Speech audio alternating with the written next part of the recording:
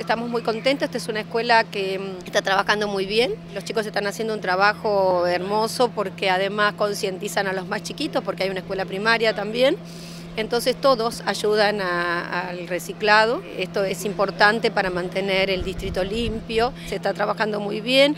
Tenemos los elementos, tenemos los tachos, tenemos el personal, tenemos los dos camiones que el intendente nos ha comprado para poder hacer el programa. Así que agradecidos al señor intendente y agradecidos a los chicos de los colegios y también en este caso al vecino que paga los impuestos y que bueno merecen vivir en un lugar limpio y en un lugar que realmente podamos pensar en el futuro, en que vamos a tener un medio ambiente mejor. El espíritu del programa es la promoción y la difusión en los alumnos, en los chicos, que son quienes van a hacer el cambio de paradigma en el cuidado del medio ambiente.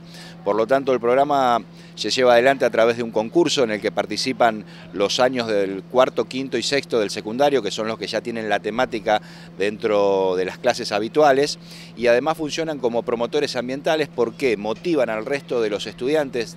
Este concurso dura hasta fines de octubre y tiene como premios eh, instrumentos musicales, un poco el espíritu es justamente esto, la promoción del cuidado y la importancia del cuidado del medio ambiente. Llevándola a la escuela lo llevas a los barrios también, porque automáticamente, por lo menos acá lo que nos ha pasado es que los chicos de la escuela primaria eh, participan muchísimo y traen ellos bolsas y bolsas de plástico de sus casas, así que lo estamos llevando al barrio. Todo surgió cuando la directora nos propuso este proyecto, nos pareció espectacular que nos hagan parte a nosotros, a los alumnos, eh, de un proyecto de gran magnitud como sería este, con un objetivo que sería tener algo para el colegio. A mí lo que más me copó fue de la manera en la que se, copó, se coparon los chicos más chicos, que ustedes como verán, cada vez que vinieron los contenedores estaban llenos.